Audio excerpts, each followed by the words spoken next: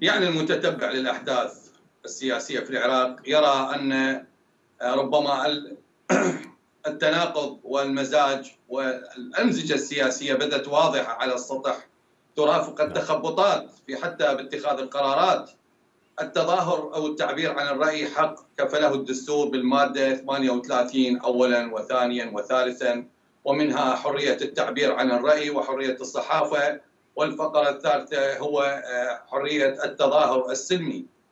لكن ما يدور على الشارع العراقي من اضطرابات وكثرة التظاهرات وإن كنت أنا ممن يؤيد التظاهر السلمي ولكن في نفس الوقت أضع علامة تعجب على أن هذه التظاهرات رغم تكرارها ورغم كثرتها إلا أنها لن تغير من الواقع في شيء أي ما معناه اننا قد نحتاج إلى اعتصامات مفتوحة إلى ما يشبه الثورة البيضاء للتعبير عن الرأي؟ يعني شنو الفائدة أنا من أطلع تظاهر والجانب المقابلي اللي متمثل بالحكومة أو بال أو بالوزارة آه، لم يتخذ أي إجراء؟ يعني بصراحة قد تفقد هذه التظاهرات محتواها وفائدتها وربما حتى طعمها. لأن أنا أما أتظاهر كما يحصل في البلدان المتطورة البلدان التي آه، تحكم باسم الديمقراطية أو لا أتظاهر. أنا يوميا أرى الشوارع العراقية خاصة أمام وزارة المالية.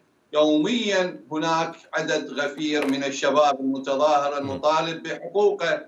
هو لا يطالب بمعجزة ولا يطالب بأمور خارجة عن إرادة الدولة وقدراتها ولكن للأسف طالما أن هناك أذن صماء فما الداعي إلى التظاهر؟ اذا علينا أن نستخدم نعم. النظام البديل أو الفقرة البديلة، هذه من جهة، من جهة أخرى ربما تكون هذه التظاهرات قد يشوبها نوع من التجاوزات. هسه إحنا مو دائما نقول الطرف الثالث ومندسين ونظام المؤامرة. ترى مليانه من هالعبارات اللي أصبحت مستهلكة.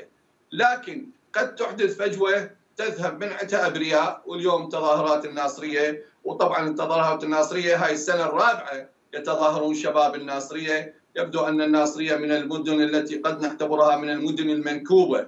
لا تعيين لا نعم. خدمات لا حكومة محلية نقولها بالعامية بها حاض.